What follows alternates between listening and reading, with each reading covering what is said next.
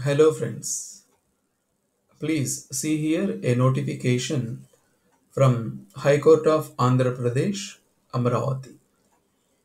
ఇక్కడ కనిపిస్తుంది కదా మీకు ఏదైతే ఈ నోటిఫికేషన్ హైకోర్ట్ ఆంధ్రప్రదేశ్కి సంబంధించింది మన court masters and personal secretaries to the honourable judges and registrars you see here on contractual basis of course ఇది కాంట్రాక్చువల్ బేసిస్ అయినా కూడా ఇది మినిమం టైం స్కేల్కి సంబంధించింది కాబట్టి పే స్కేల్ కూడా బాగానే ఉంది దీనికి.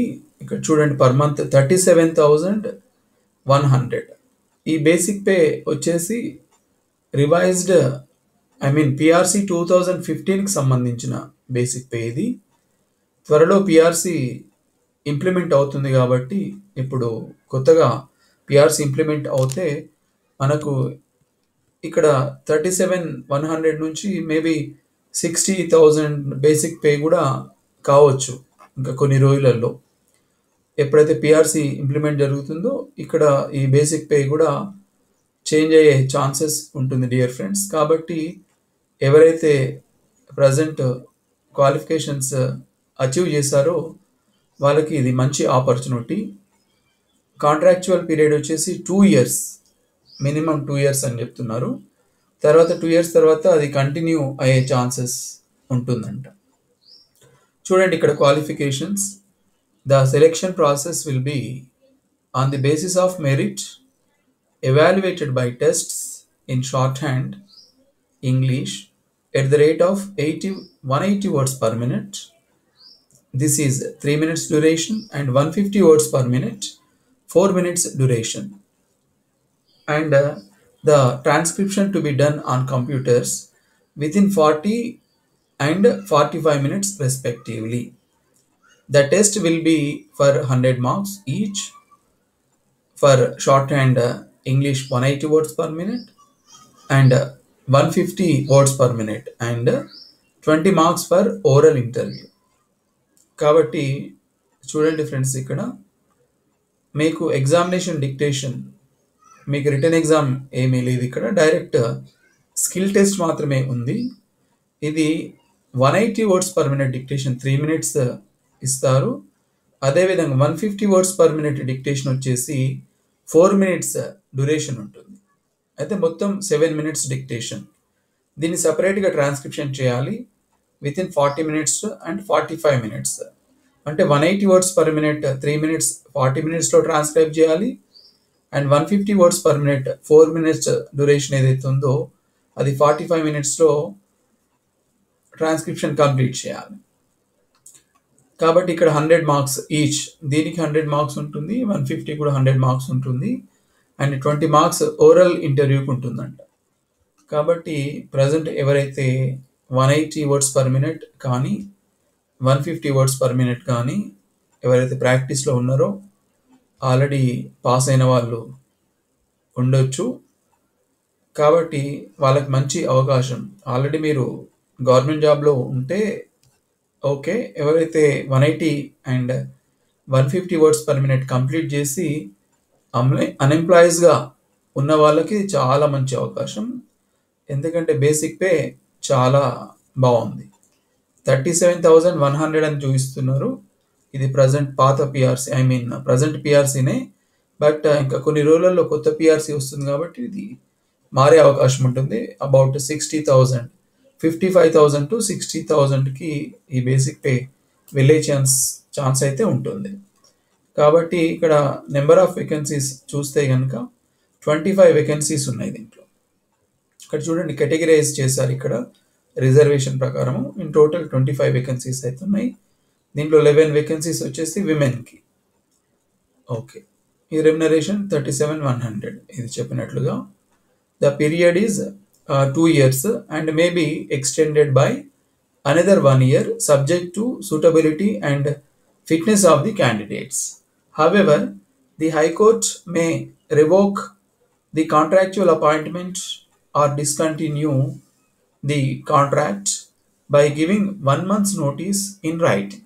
The employee may also discontinue the contractual appointment by giving one month's notice dear friends ఇక్కడ చూడండి మీరు ఈ జాబ్లో సెలెక్ట్ అయిపోయిన తర్వాత మీకు ఏదైనా ఉద్యోగం గవర్నమెంట్ ఉద్యోగం వస్తే కనుక మీరు వన్ మంత్ ముందు నోటీస్ ఇవ్వాలి. వీళ్ళకి నాకు ఇక్కడ ఉద్యోగం దొరికింది ఈ డిపార్ట్మెంట్లో కాబట్టి నాకు అవకాశం ఇవ్వండి.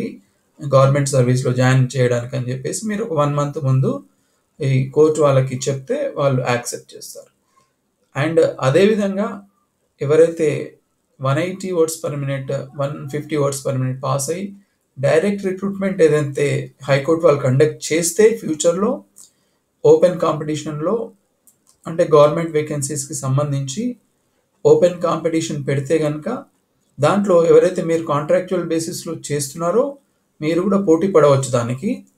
ఒకవేళ మీరు అపాయింట్ అయితే హ్యాపీ ఇంకెవరైనా సరే అపాయింట్ మీరు కాక వేరే వాళ్ళు అపాయింట్ అయ్యి అయితే కనుక వాళ్ళు ఈ ప్లేస్లో జాయిన్ అయితే కనుక మీకు వన్ మంత్ ముందు హైకోర్టు మీకు నోటీస్ ఇస్తుంది. అంటే మీరు వేరే జాబ్ చూసుకోండి అని చెప్పేసి. కాబట్టి డియర్ ఫ్రెండ్స్ ఇక్కడ మీరు అటువంటి అవకాశం మీరే తీసుకోవచ్చు. మీరు one eighty words per minute correct అక్యురేట్గా practice చేస్తూ ఉంటే రెగ్యులర్ నోటిఫికేషన్ పడ్డప్పుడు మీరు కూడా వన్ ఆఫ్ ది క్యాండిడేట్స్గా అప్లై చేసేసుకొని మీరు కూడా దీంట్లో పర్మనెంట్ ఎంప్లాయీగా మారిపోయే ఛాన్సెస్ అయితే ఉంటుంది. బట్ ఇది మీ యొక్క డెడికేషన్ మీద ఆధారపడి ఉంటుంది. ఎట్లా అని చెప్పేసి ఇంకా ఇంపార్టెంట్ uh, ఏముంది అంటే ఓకే మీరు కాంట్రాక్చువల్ బేసిస్లో జాయిన్ అయిన తర్వాత మాకు పర్మనెంట్ చేయాలి అని చెప్పేసి అడగడానికి ఎటువంటి అవకాశం అయితే లేదు ఇక్కడ. నెక్స్ట్ ఇక్కడ చూడండి.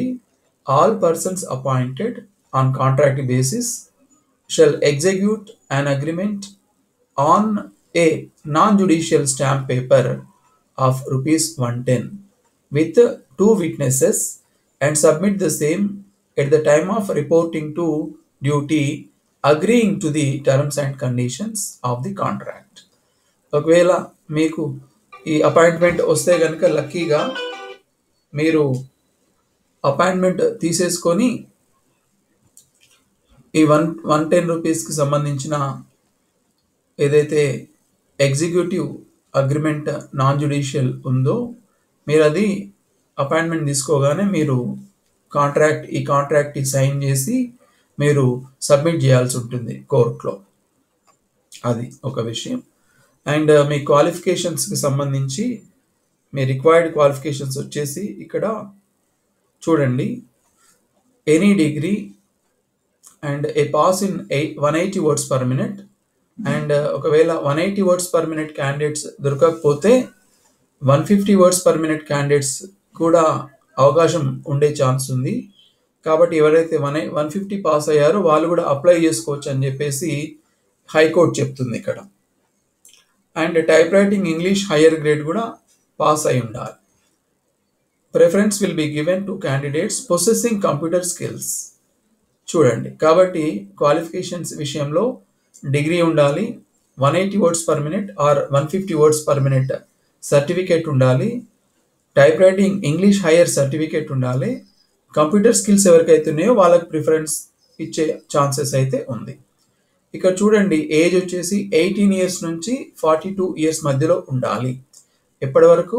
As on one seven two thousand twenty one డేట్కి eighteen to forty two years మధ్యలో ఏజ్ ఉండాలి. అదేవిధంగా ఎస్సీ ఎస్టీ బీసీ వాళ్ళకి ఇంకా ఫైవ్ ఇయర్స్ రిలాక్సేషన్ అయితే అవకాశం ఉంటే ఇస్తారంట. కాబట్టి forty two years plus five equal to forty seven years వరకు ఉంటుంది. అప్లై చేసుకోవాలంటే. అది ఒకటి. ఇక్కడ చూడండి ఎవరైతే అప్లై చేసుకోవాలనుకుంటున్నారో ఓసీ అండ్ బీసీ క్యాండిడేట్స్ అయితే seven fifty rupees towards examination fee pay చేయాల్సి ఉంటుంది.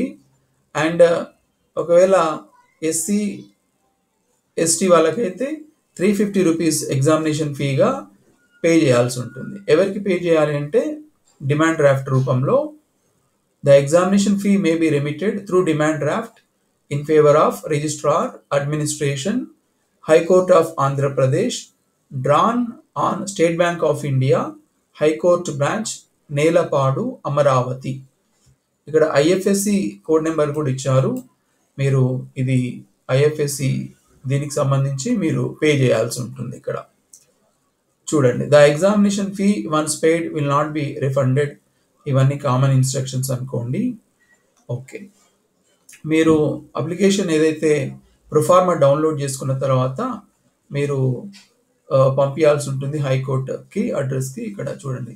The applications shall be submitted in the prescribed proforma with three latest passport size colour photographs one photograph to be pasted at the right top corner of the application duly attested by a gazetted officer and the other two passport uh, photos to be pasted on the hall ticket original and duplicate along with attested copies of academic and technical qualifications dear friends ఏదైతే proforma ఉందో ఆ ప్రొఫార్మాలో మీరు application మీద ఒక photo మీరు paste చేయాలి plus దానికి gazetted signature అయితే పెట్టాలి. అదేవిధంగా హాల్ టికెట్ మీద హాల్ టికెట్ ఒకటి original and duplicate hall ticket ఉంటుందంట. కాబట్టి ఆ రెండింటి మీద రెండు ఫొటోస్ అయితే పేస్ట్ చేయాలి. దాని తర్వాత మీ యొక్క క్వాలిఫికేషన్స్ ఇవి SSC degree certificate shorthand certificates one eighty or one fifty certificates typewriting English higher grade certificate and caste certificate and if any computer certificate ఉంటే అవి కూడా మీరు అటెస్టేషన్ చేయించేసి ఈ అడ్రస్కి పంపించాలి. ఏదో ఏ అడ్రస్కి పంపించాలంటే ఇక్కడ చూడండి address to the registrar administration high court of Andhra Pradesh Nelapadu Amaravati Guntur district pin five double two two three seven on or before twenty one seven two thousand twenty one by five PM కాబట్టి ఇక్కడ last date వచ్చేసి twenty one July ఈ మంతే ఉంది. Correct twenty days ఉంది apply చేసుకోవడానికి. కాబట్టి మీరు ఒక ఇంట్రెస్ట్ ఉంటే కనుక ఇమీడియట్గా అప్లై చేయండి. డిలే చేయకుండా. అది. ఓకే ఎన్వెలప్ మీద మాత్రం ఏదైతే మీరు ఈ సర్టిఫికెట్స్ అన్నీ attestation copies application along with application పంపిస్తున్నారో ఈ ఎన్వెలప్ మీద మీరు ఈ విధంగా రాయాలి. Application for the post of court masters and personal secretaries to the honourable judges and registrars okay దాంతో పాటు మీరు ఏదైతే డిమాండ్ డ్రాఫ్ట్ తీసారో ఆ డిమాండ్ డ్రాఫ్ట్ కూడా అప్లికేషన్తో పాటు ఎన్క్లోజ్ చేయాలి. And one self addressed envelope కూడా థర్టీ రూపీస్ వర్త్ పోస్టేజ్ స్టాంప్తో మీరు సబ్మిట్ చేయాలి.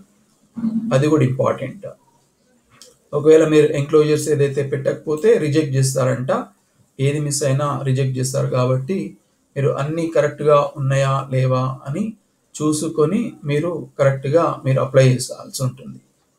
ఓకే ఇక్కడ చూడండి no TA and DA will be paid to the candidates appearing for written examination or oral interview మీకు అప్లై చేసిన తర్వాత స్కిల్ టెస్ట్కి మీకు పిలుస్తారు కదా అప్పుడు మీకు టీఏడిఏ ఎటువంటివి హైకోర్టు ఏం పే చేయదు. మీ యొక్క ఓన్ ఎక్స్పెన్సెస్తోనే అటెండ్ కావాల్సి ఉంటుంది.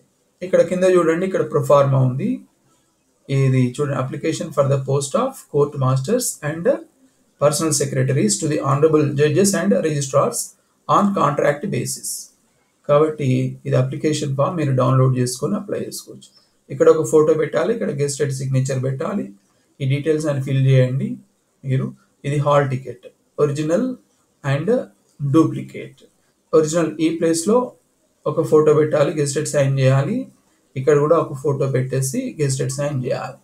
ఎంక్లోజర్స్ అయితే అన్ని ఎంక్లోజర్స్ అయితే ఖచ్చితంగా మీరు పే చేయాల్సిందే. పెట్టాల్సింది పెట్టాల్సిందే ఐ మీన్ కాబట్టి this is good opportunity my dear friends okay notification వచ్చింది ఈరోజే కాబట్టి గుడ్ ఆపర్చునిటీ మీరు ఎవరైతే సీరియస్గా ఉన్నారో మీరు one eighty words per minute పక్కా ప్రాక్టీస్ చేయాల్సిందే. ప్రాక్టీస్ చేసి ఇటువంటి అవకాశాన్ని మీరు పెన్- పొందవచ్చు. లేకుంటే కష్టం అవుతుంది this is for your kind information my dear friends and all the best thank you